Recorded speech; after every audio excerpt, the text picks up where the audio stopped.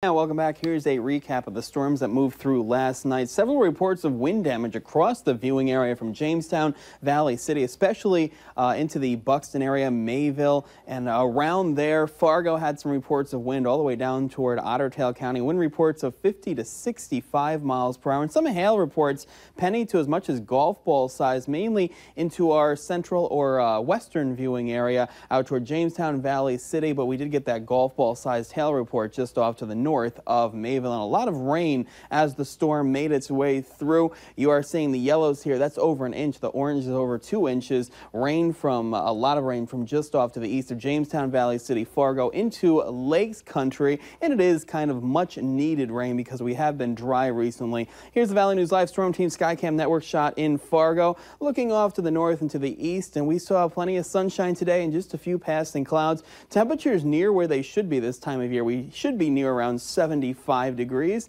And uh, that's where we are right now, close to that at 74 in Fargo, Jamestown 73, Valley City 75, Oaks and Gwinner. Lower 70s across most of Lakes Country. We're also into the lower 70s in the Devil's Lake Basin, northwestern Minnesota, and the Northern Valley, a little warmer into the mid 70s as of right now. So not bad out there.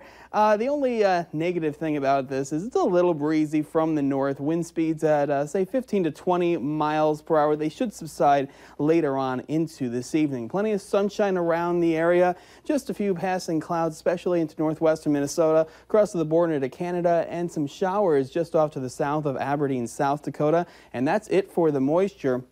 We have a, a, few low pressure systems all missing us to the east, west, and south. High pressure in charge of our forecast. We're tracking that low off to our west. That'll be our next weather maker as it makes its way through here uh, tomorrow evening into Friday morning. So here's the hour by hour forecast. Temperatures falling through the 70s into the 60s for evening plans. Not bad. We're going to keep mostly clear skies and the winds will subside with a refreshing overnight period into the upper 40s and lower 50s for low temperatures around 7 a.m. Now, as we go through the day on Thursday, mostly sunny to start, partly cloudy later on to the day. More clouds moving in from the west, warmer into the upper 70s and lower 80s with a chance of a shower, possibly a thunderstorm for your Thursday evening. Most of us staying dry. Starting off near 50 in Fargo around daybreak, high of 81 degrees, mostly sunny skies, turning partly cloudy.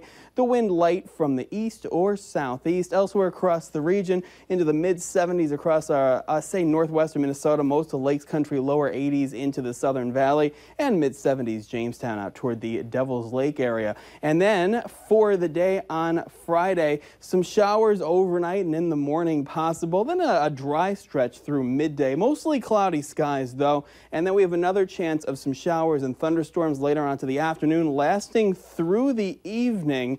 And uh, through the evening, we do have a marginal risk of severe weather. This is for Friday. Uh, one or two storms could be severe. We're not expecting a widespread outbreak, and the marginal risk is mainly south of I-94. So here's the photo of the day. It's called uh, Pontoon uh, uh Rides at uh, Little Pine Lake. Thank you, John, for this one.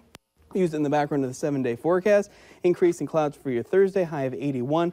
79 on Friday. Chance of some showers and thunderstorms. Marginal risk of severe weather later into the day. Some remnant showers lasting through Saturday morning. Then a mainly dry weekend. Mostly sunny by, by Saturday afternoon. Partly cloudy Sunday. Into the low to mid 80s as we stay warm. Upper 70s Monday and Tuesday. Monday is our next chance of some showers and thunderstorms. And dry through Wednesday. Partly cloudy to mostly sunny. A high of 81 degrees. There's your Let's check in with Robert Hahn now at the